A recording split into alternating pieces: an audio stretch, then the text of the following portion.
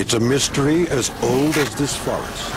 Cries in the night from a source unknown. We've been able to compare this sound with the obvious animals that it might be. Images captured on film. He came up and looked right in the eye from behind that bush.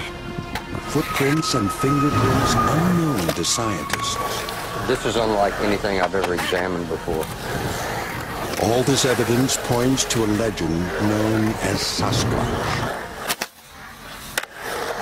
Oh, fuck.